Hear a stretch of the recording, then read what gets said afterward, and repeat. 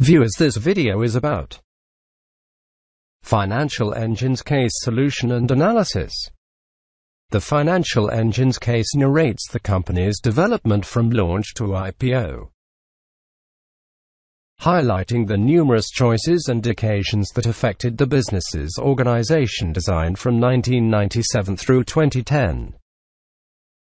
The idea for the business derived from Nobel Reward-winning financial expert Expense Sharpe's desire to assist the typical customer much better comprehend and handle the retirement life properties.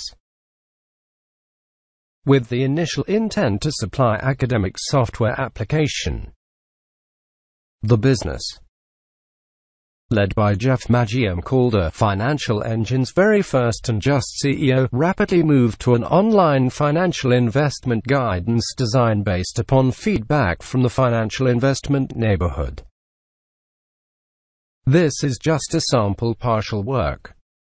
Please place the order on the website to get your own originally done case solution. Thanks for watching this video.